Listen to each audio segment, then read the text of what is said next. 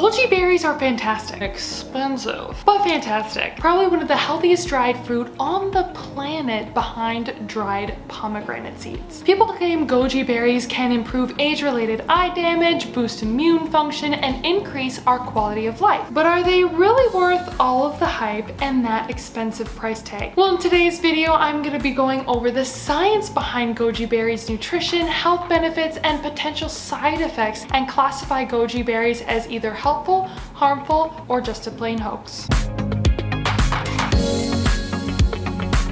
What's up superhumans? Welcome back to my channel. If you're new here, my name is Dr. Tessa Spencer. I'm a licensed and practicing pharmacist as well as a NASM certified personal trainer and nutrition coach. I also own my own functional medicine consulting and coaching business, Ritual Wellness. And my goal with this platform is to inspire, educate, and empower you guys to reach your optimal health and create a dynamic and fulfilling life using holistic, evidence-based health and wellness practices. If you want to learn more about how we can work together one-on-one -on -one to optimize your health using alternative therapies, superfood supplements, or if you want to become one of my online wellness coaching clients, keep listening to the end of this video, or you can go ahead and book a free wellness consultation with me using the link below in my description. As always, you hear it in every video, superfoods and supplements can interact with certain disease states or medications, so make sure you're talking with your provider before you're supplementing with anything. All right, let's do it. First off, we're gonna look at the antioxidant value of goji berries. So goji berries are packed with antioxidants and up until 2010, they were the most antioxidant packed dried fruit known, topping off the charts at 120, which is five times the antioxidant power of a raisin. I will say that goji berries are very expensive. So you can get the same amount of antioxidants if you eat cranberries or artichokes and a lot of other fruits and vegetables, but goji berries are still at kind of the top of the list. So does this high antioxidant capacity transform into clinical effectiveness on illnesses and diseases? The first one we're gonna look at is age-related macular degeneration. This is goji berry's most notorious claim. So macular degeneration, aka age-related eye damages that causes blurry vision. Goji berries are a great source of zeaxanthin, which is a carotenoid molecule found in the cells of our eyes that is linked to several health benefits such as reducing the risk of age-related macular degeneration, glaucoma, and cataract. So how about a double-blind, randomized, placebo-controlled trial? 15 berries a day for three months and they found that goji berries could protect against the loss of pigment and prevent the build-up of debris in the back of the eye, both of which are associated with age-related macular degeneration, which is the leading cause of legal blindness in older men and women. So it's important to note that one way to increase the absorption of the carotenoids in goji berries like zeaxanthin is to eat the goji berries with nuts or seeds. With the current research out there, I do believe that there is a place for goji berries in those wanting to prevent or improve age-related blurred vision as long as they don't break your budget.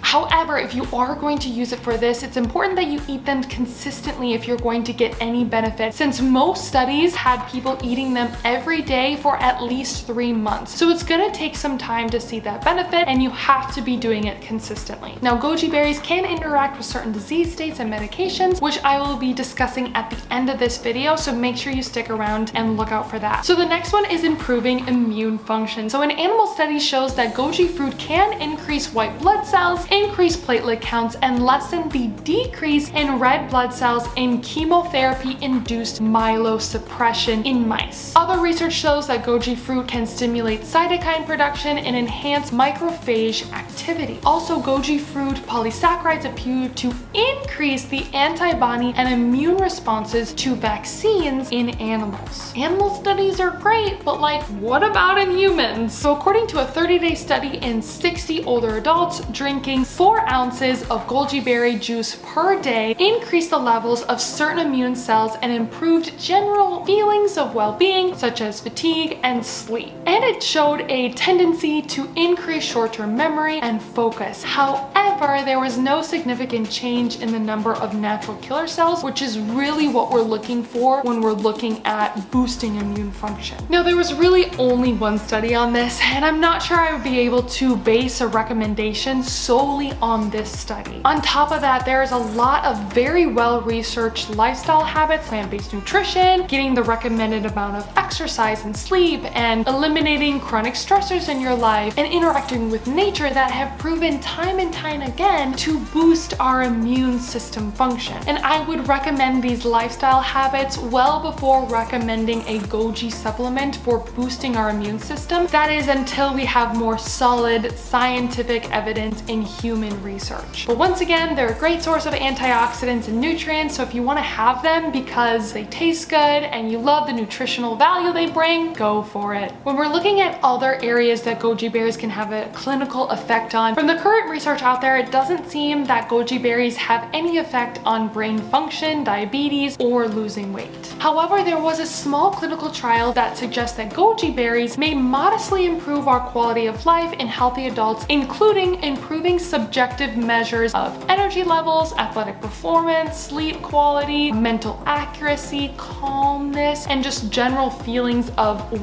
well-being. Now, I do have to say, this study was funded by a goji berry juice company. We have to take these results with a grain of salt because it, it was funded by a goji juice company and their main MO is to sell goji berry juice. We just have to make sure that this scientific research isn't biased in any way. I always like to talk a little bit about the safety profile of all the superfoods and supplements that I am going over. And goji fruit is generally safe when taken in food amounts or larger amounts up to four months. Goji berries are generally well tolerated and don't seem to produce any harmful side effects. I will say that goji berries might cause an allergic reaction, especially in those who are allergic to tobacco, peaches, tomatoes, and nuts. If you're allergic to any of those, maybe be a little cautious if you're gonna try goji berries for the first time. Right now, there isn't enough reliable information to know if goji berries is safe to use in a clinical amount, especially when you are pregnant or breastfeeding. And there is a little bit of concern that goji goji fruit might cause the uterus to contract. So for this one, I would, you know,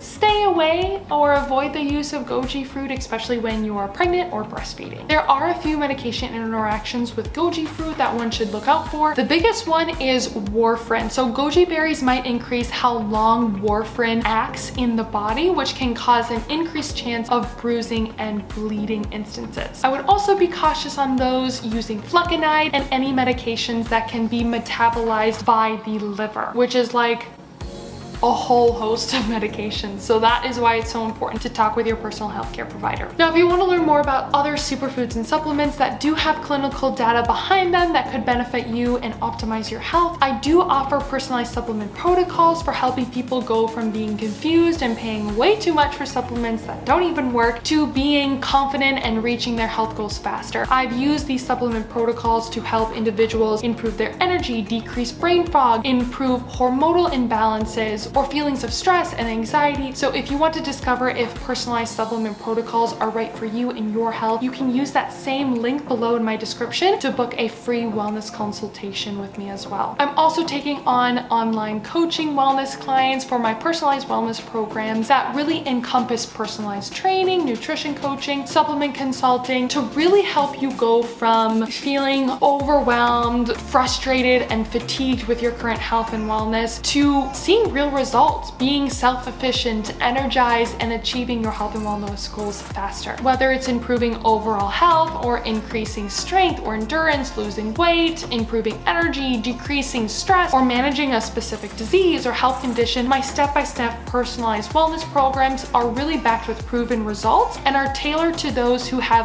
very busy schedules, bite-sized, it's step-by-step. -step. So once again, if you wanna learn more about my personalized wellness programs, use that link below, book book a free wellness consultation with me and we can go over some ways that we can work together to really improve and optimize your health. Now, if you want more day-to-day -day tips and tricks on health and wellness, go ahead and follow me on Instagram at the Superfood Pharmacist, or I'm, I'm getting on, you know, the dancing trend of TikTok. And if you like this video, make sure to give it a thumbs up, subscribe to my channel, and share this video with others who might really benefit from this knowledge. You can also hit that bell notification button so you're notified each and every time I upload a new video. And of course, if you have any questions, make sure to put them below in my comments and check out all my scientific references that I used in creating this video down in my video description. Thank you guys so much for watching this video. I hope you found it helpful. I hope to see you in the next video, but until then, keep living your worth.